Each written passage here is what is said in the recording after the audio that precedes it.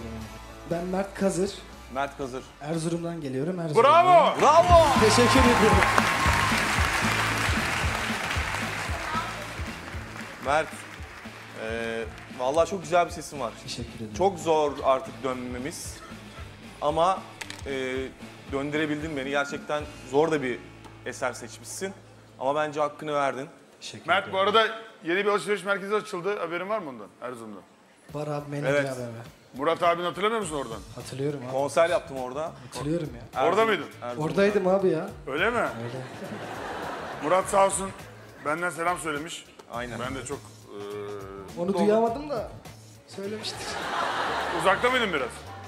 Bir ara çıkıp geldim ya o yüzden olabilir Öyle mi? abi. Ama e, bak ne kadar dürüst çocuk. Başkası olsa duydum abi derdi. Helal olsun. Bravo. Teşekkür ederim. Abi Çok teşekkür ederim. Erzurum işte çocuk. Bu arada o alışveriş merkezini yapan Mehmet Nazif Günal, e, TV8'in eski sahibi. E, Kendisi çok değerli bir abimiz. Hani Erzurum'a e, yaptığı bu yatırımdan dolayı da Büyük Mehmet yatırım. abiye buradan çok Teşekkür, çok teşekkür ediyoruz. ediyoruz. Evet, gerçekten önemli bir yatırım yaptı. Sağ olsun.